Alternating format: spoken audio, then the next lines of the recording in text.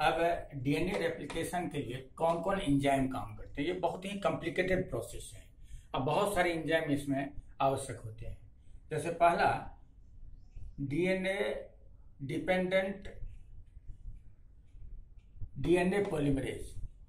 ये enzyme DNA का जो टेम्पलेट होता है, उसे डीऑक्सी न्यूक्लियोटाइड में पॉलिमराइजेशन करता है पॉलीमराइजेशन करता है। इसमें एक सेकंड में, लगभग एक सेकंड में दो टू थाउज़ेंड बेस पेयर का पॉलीमराइजेशन होता है। प्रोकैरियोट्स में तीन प्रकार के ये इंजाइम होते हैं। पहला DNA polymerase one DNA polymerase two DNA polymerase three ये तीन प्रकार के होते हैं।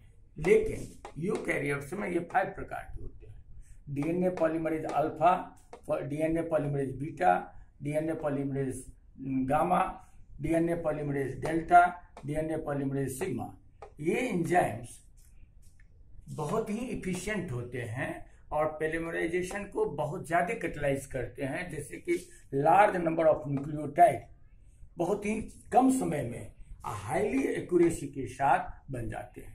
इसमें अगर कुछ मिस्टेक होता है तो इसके कारण म्यूटेशन होता है।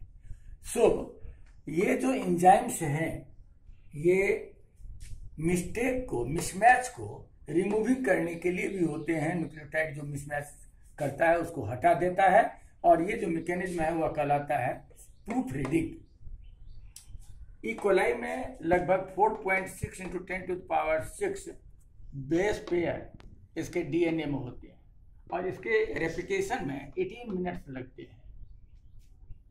दूसरा एंजाइम है हेलिकेस यह डीएनए स्ट्रेंस को अनवाइंड करता है रेप्लिकेशन और रेप्लिकेशन फॉर्क बनाता है, यहाँ पर रेप्लिकेशन फॉर्क बनाता है।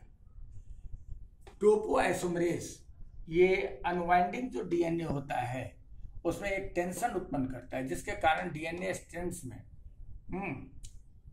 सो आइसोमराइजेशन हो जाता है। डीएनए लिगेज यह डीएनए स्ट्रेंड्स के जो टुकड़े होते हैं फ्रेगमेंट्स होते हैं उनको ज्वाइन करने के लिए होते हैं। ये फॉस्फो डाइस्टर फॉस्फो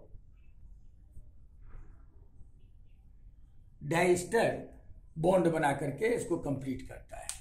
यह सिंगल स्ट्रेंड्स जो डीएनए डुप्लेक्स का जो सिंगल स्ट्रेंड टूटा हुआ रहता है, उसको रिपेयर करता है। जैसे कि हम यहाँ पर देखते हैं, इस प्रोसेस में क्या होता है? जो एक हेलिकेज इंजाइम जो है, ये जो स्ट्रेंड्स है डीएनए का, इस डीएनए स्ट्रेंड्स को अनवाइंड करता है। और अनवाइंड करने के बाद ये, हालाँकि ये प्रोसेस रेप्लिकेशन प्रोसेस में बहुत ज़्यादा एनर्जी की आवश्यकता होती है।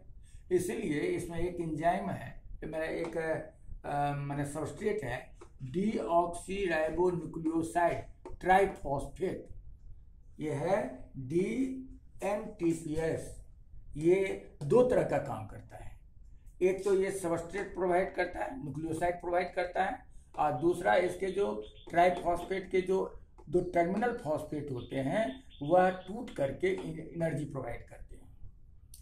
अब डीएनए डिपेंडेंट डीएनए पॉलीमरेज जो हैं, वह पॉलीमराइजेशन को कैटलाइज करता है। लेकिन ये यूनि डायरेक्शनल होते हैं five dash to three dash in replication for इसीलिए ये जो टेम्पलेट है, उसमें polarity three dash to five dash जो है three dash to five dash तो थ्री डैश यहाँ पर, ये फाइव डैश हो जाएँगे। थ्री डैश और फिर यहाँ पर थ्री डैश और five dash five dash five dash three dash ये दो स्टैंड का एंटी पैरल स्टैंड्स हैं। तो यहाँ पर ये जो पोलरिटी होता है, इसे हम कंटिन्यूस सिंथेसिस यहाँ पर होता है, और इस तरह से ये जो पोलराइजेशन होता है, इसे कंटिन्यूस कहते हैं और इसे इस स्ट्रेंड्स को कहते हैं लीडिंग स्ट्रेंड्स लेकिन five dash three dash strands जो हैं, यहाँ पर five dash three dash strand जो है, इसे डिसकंटिन्यूस स्ट्रेंड्स कहते हैं इसमें ये फ्रेगमेंट बनते हैं ओकाजाकी फ्रेगमेंट्स बनते हैं। हाँ ये स्मॉल फ्रेगमेंट्स होते हैं। और इसे हम कहते हैं लैगिंग स्ट्रेंड्स जो बाद में एंजाइम डीएनए लाइगेज के द्वारा ये क्या हो जाता है? तो ज्वाइन करके स्टेंट्स बनाता है। यहाँ पर ये इनिशिएट जो होता है DNA polymerase DNA dependent DNA polymerase के द्वारा डीएनए का पॉलीमराइजेशन कहीं से भी किसी तरह से नहीं हो जाता है। इसके लिए एक इनिशिएशन पॉइंट होता है, जहाँ जहाँ पर इनिशिएशन पॉइंट पर एक आरएनए आकर के इस स्ट्रेंस को फॉर्किंग करता है और इस तरह से ये कंटिन्यू होता है और अंत में समाप्त हो जाता है।